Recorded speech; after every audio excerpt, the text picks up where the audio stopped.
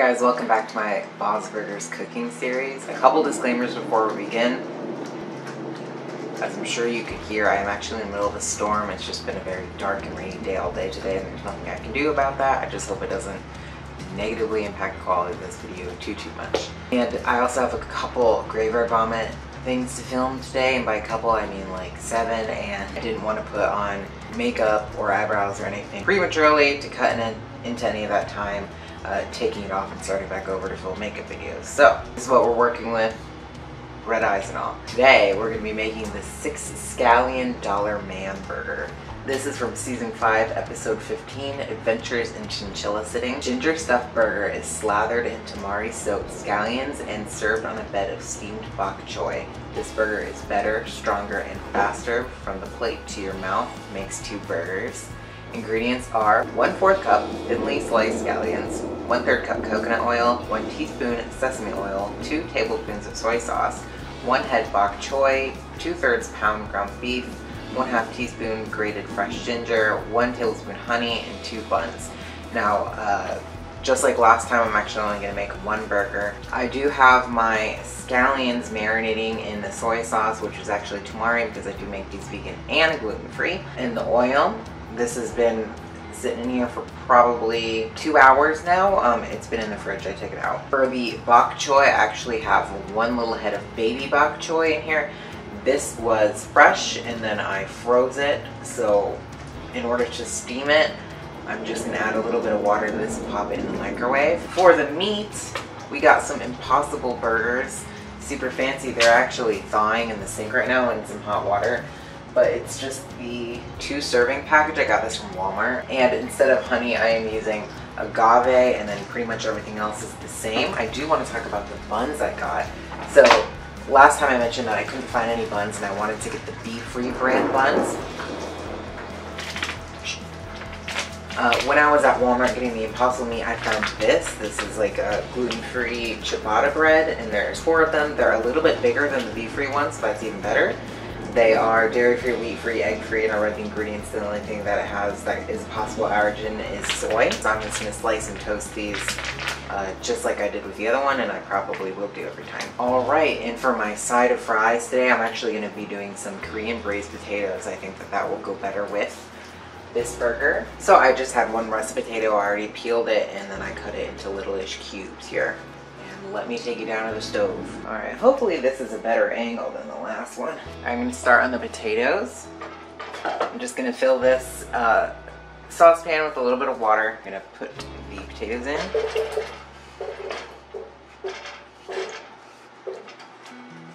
Put that on about medium-high heat, cover it, and forget about it for a while. So this is our little frozen head of baby bok choy. If you had gotten fresh, then of course you could just follow the instructions in the book here, which is just put in a steam basket and cook. But for me, I buy a lot of veggies fresh, and then if I think that I'm not going to be using them within the week, then I will go ahead and freeze them and then use them for other recipes after I've thawed them out or whatever I need to do with them. So this is exactly that situation.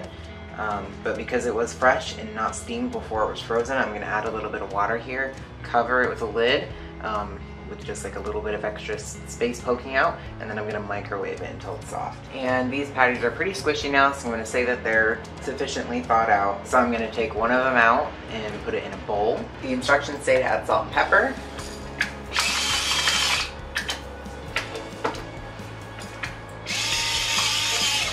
and that this is where you're gonna add in your minced ginger. I've actually just got some squeezed ginger that I'm gonna add a little glop of. And smush. And I'm gonna form it back into a patty as best I can.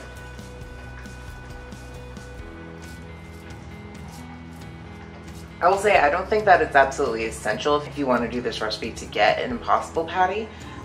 I just got it because it said that it wanted uh, ginger mixed into it, but I think you could get essentially the same taste if you, you mix the ginger into this marinade for the scallions. But I thought it would just be fun. Alright, this guy is done from the microwave. I'm just gonna take it out and lay it on this cutting board. I'm gonna cut the bottom off. And then these just need to kind of dry. So I have a clean kitchen towel here gonna press some of that water off and then I'll transfer the rest to the top of it. Alright, time to start cooking the patties. We're gonna do a little over medium heat with a smidgen of oil. Actually, that might be enough. Do you see the tiniest little dot in there? When feeling this, it's very oily, so I don't think it's going to be a huge problem, but this is just in case I don't want any problem flipping it. Going to let that heat up. I'm checking my potatoes. Those are getting there. You'd like them to be easily pierceable with a fork. I'm to cut it in half with my bread knife.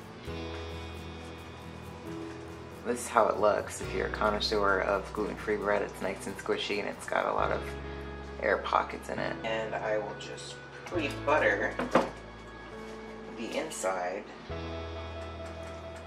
And for the butter, I just have standard old earth balance. It's probably the most accessible vegan butter, although I know that there's some like Smart Balance or Country Crock or something that have a version of margarine that is completely vegan as well. Alright, so I'd say this is hot enough to put the patty in. Alright, the potatoes are good to go, and I'm gonna go ahead and drain some of this liquid out. And I'm gonna lower the heat down to like medium low instead. And we're gonna throw in there a little agave, some sesame oil, a little more squeezy ginger, tamari, optional red pepper flakes, some garlic, that was a lot, oh well, and some sesame seeds. I'm just gonna mix that together really good with my rice paddle. Or the idea is that this stuff that's not touching the potatoes right now is gonna like thicken kind of coagulate enough to create this really yummy sticky sauce. If it doesn't, you can add a little bit of cornstarch and water to it, and that'll help. It'll still taste good though, no matter what the consistency ends up being. Alright, I think the burger is ready to flip because it's looking kind of like gray-brown on the sides. There we go. That may be too much. Again, I don't know anything about cooking meat, and this is like pretty much as close as I'm ever gonna get. Or at this time, I'm gonna toast the bread on the sides. Share some pan space. I only have one pan.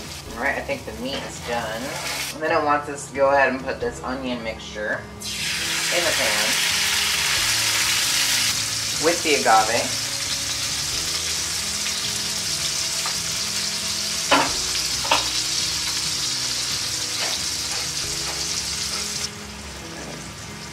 Nice and toasted.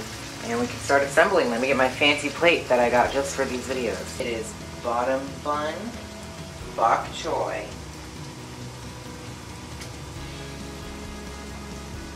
burger, scallions, top bun, and then potatoes on the side.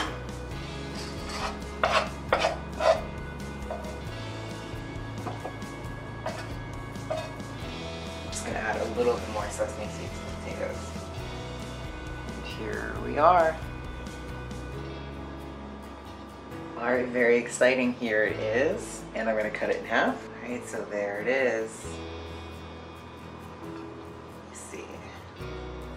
Look at that. Focus. Alright, time to try it. Do the potatoes first.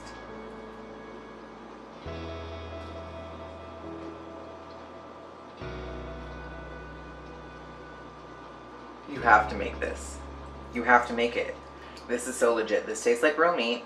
This bun, this branded bun, is super soft and fluffy and nice and it toasted super well and all these things go really good with each other. I was a little bit skeptical that all these flavors would taste good on a burger, but they really do. Definitely, definitely make this. And if you do, tag me. Alright, thank you so much for watching. Please leave a like, comment, and subscribe, and I will see you guys in the next burger recipe. Bye.